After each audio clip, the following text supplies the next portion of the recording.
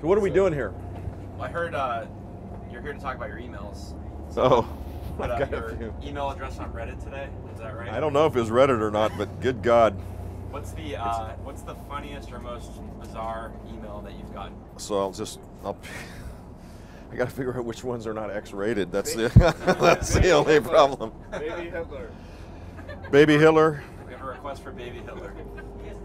Said if you could go back in time and kill Baby Hitler, would you? I need to know. And Hell yeah, I would.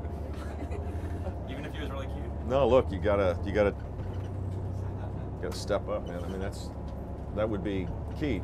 Problem with going back in history and doing that is, as we know from the uh, series, what was the name of the Michael Fox movies? Back to the Future. Back to the Future. It has a it could have a dangerous effect That's on true. on everything There's else. a lot So, to consider in this. But I'd do it. I mean, Okay. Hitler. Well, you're down. I mean, there's no backing out now.